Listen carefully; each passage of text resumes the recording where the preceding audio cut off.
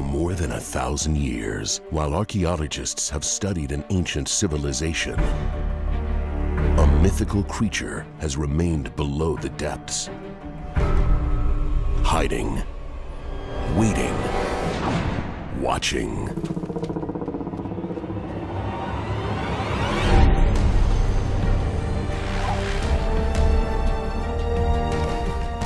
And all it takes is an innocent expedition